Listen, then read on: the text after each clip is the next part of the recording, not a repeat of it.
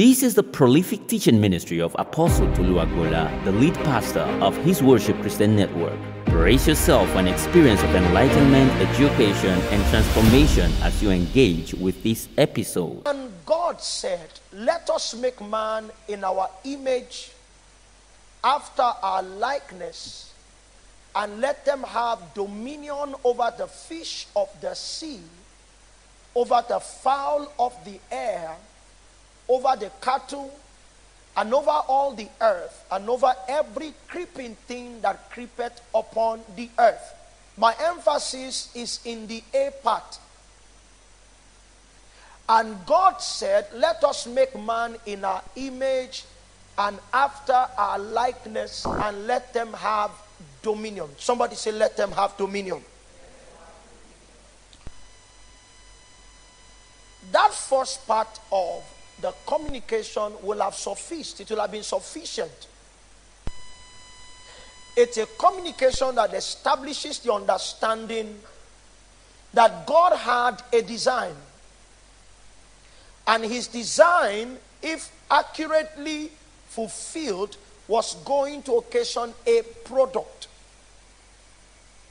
The design was to react or to bring together in physics, we call it um, that's fusion, right? Fission is pulling apart. So, fusion. So, if you fuse together the image of God and the likeness of God, like in a reactor, what you will produce is dominion, a kingly reign. If you fuse together the image and the likeness of God, what will come out of it is uh, the administration of authority. Authority so strong that nothing can refute it. And that advertises one of our primary areas of warfare.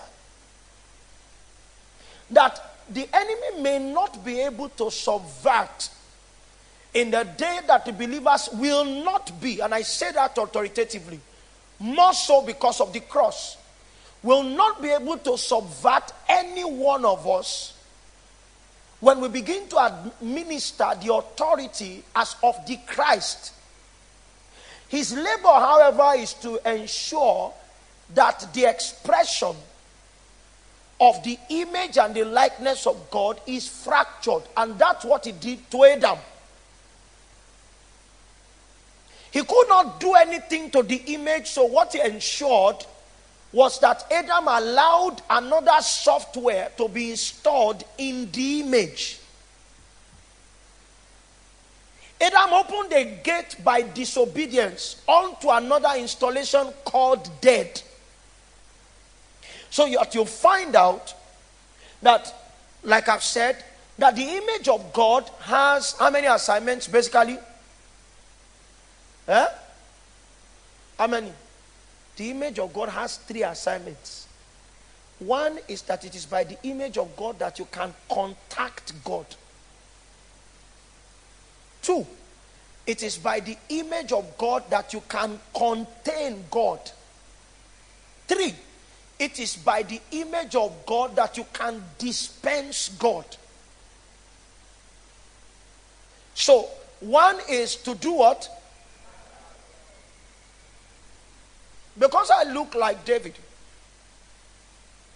physically, I can touch him. When you watch movies, you find out that spirits cannot touch man. If, if the movie is a sensible one, if a spirit wants to slap you, his hand will pass through you. Now, there are things that spirits can do to gain tangibility. Are you with me? But normally they are not.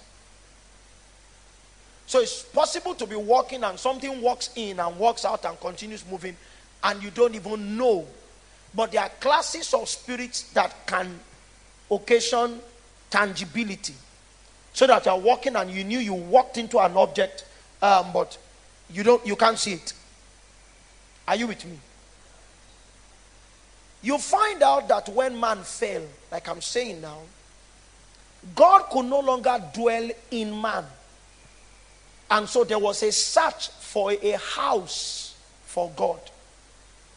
And because he pleased God to dwell in the earth, in Exodus chapter 25, he told Moses to tell the people to build him a sanctuary. I can't live in you, but I want to be here, and I don't want to be a roaming spirit. So, can you put together something that's Exodus 25 8, right? Good. Put together something that looks like the original place in which I dwelt with you. And I will be there. But you'll find out that the end of that sanctuary was actually a man. For in John chapter 14, Jesus called himself by a name that God had been waiting for. He called himself my father's house. Are you with me? So that was a challenge that God had because when man fell, the image was tampered with. And the way the image was tampered with was that another kind of likeness called death, death means separation from God in that case, began to work. So if you put a virus in, inside a computer, the computer can still turn on. When the day the virus comes in, it won't affect your ability to put it on. It will first attack some of your files. So that you typed a project and your project is, uh, is, is 92 pages. And when you came back, you see that there's a file extension to your project. It was a Microsoft Word document, but now it has Z, Y, B, and C. And if you click it, you'll find out there are many X's and O's inside your pro- That's the way your new project looks. And if you don't have a smart person to solve it, you will need to start again. Ah, but this computer still came on now. Leave the virus inside it. After a while, it will begin to affect some major things, and then the computer will be dead. It meant that that computer died by dying. Are you with me? So when God told Adam, In the day that you eat of the fruit of this tree, you shall surely die. The expansion of surely die is in dying you will die. So abraham's adam's separation from god was not instant. There was still an aspect of his existence or of the functions of the image that was active one adam could no longer dispense god because could no longer represent him two adam could no longer contain god but adam could contact god because when god came he said, Adam made them wear down. Did Adam hear or not? He heard. So that's contact. It's on that strength that an unbeliever can hear from God. You got saved because in your dying state, God left that aspect of you to be able to relate with Him. So there are people who got saved without a man preaching to them. It was God that met them. Because even in their dying state, they could still contact. Are you with me? That's not where I'm going. Where I'm going is if you react the two together, what you produce is dominion. And then the Bible now shows us three or four different layers, not three, basically the earth, the sea, and the air, as to give us a picture of the spheres over which man had dominion in the earth. So from Genesis 1:26, the scope of man's dominion is the earth. If something comes to attack from the air, man can shut it down. If something is projected from the waters, man can shut it down. Because the head, as by design for the water bodies, it's not a mermaid. You need to listen well and listen again to the sermon. I'm trying to combine like 10 sermons in one because of the urgency. You heard of a mermaid before? Yeah. A mermaid, they say it's a fable, but they are real. When you labor long, you will not block one.